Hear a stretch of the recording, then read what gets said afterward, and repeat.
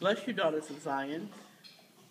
Because I've had so many requests for the Passover bread recipe, I wanted to share it with one and all that may be interested. And you can pass this along to your sisters, your friends, your neighbors that do the observation of Passover.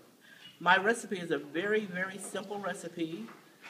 You need one cup of flour, unbleached flour, whole wheat, it matters not, one stick of butter. It needs to be butter.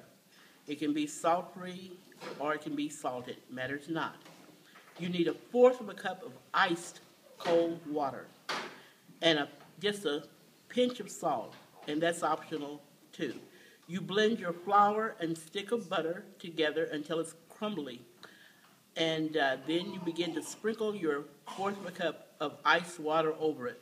And you blend that with a fork until it collects together and forms a ball.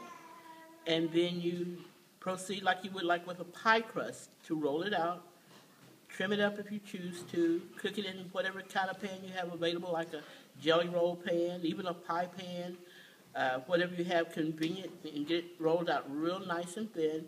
Bake it at 350 degrees for 10 to 15 minutes according to your oven until it's a nice light brown or brown to your own specs.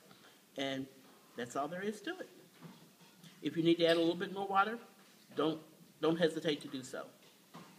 If you need to add a little bit more flour, because flour has changed in the last year or two, and what I grew up using is not what we do now. So if you've been cooking for a while, you'll know how to make the adjustments. And if I can help you further, don't hesitate to call. All right. Thank you, Granny. Bless Shalom. Pastor. Shalom.